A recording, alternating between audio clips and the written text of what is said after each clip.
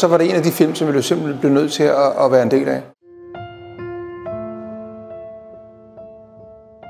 Så filmen Kollision er jo et projekt, som jeg hørte om et år før, at det overhovedet kom i gang. Og øh, jeg mødtes med dem, dengang de havde fået øh, succes med deres første film, mens vi lever. Og øh, jeg læste manuskriptet, og jeg kan huske, at jeg var ret...